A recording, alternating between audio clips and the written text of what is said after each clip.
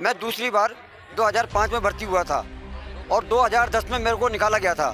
उस समय देश में कॉमनवेल्थ गेम होने वाले थे, जिसमें कि बाहर के खिलाड़ी भाग लेने के लिए आ रहे थे। उनकी सुरक्षा का दायित्व उस टाइम सबसे ज़्यादा ज़रूरी था।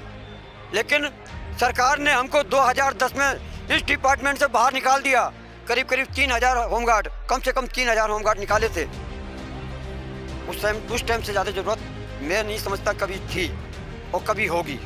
लेकिन उसके बाद में एक बैच और बाहर निकाला इन्होंने।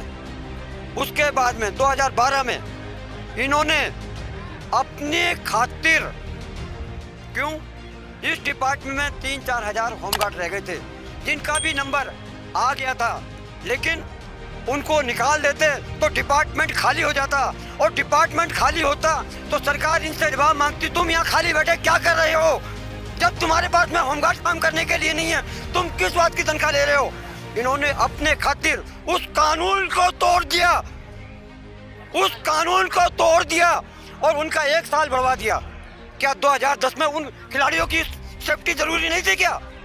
लेकिन इन्होंने अपने खातिर होमगार्ड के एक्ट को तोड़ा और एक साल बढ़वाया।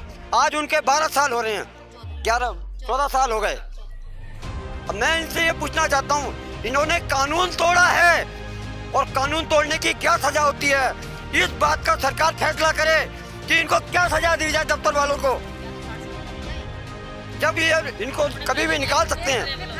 ये ये अपने फ़ायदे के लिए कुछ भी कर सकते हैं। ये अपने फ़ायदे के लिए हम लोगों को बाहर निकाल सकते हैं। हमारी नई भर्ती कर सकते हैं। क्यों इनको नोट आता है भर्ती पे?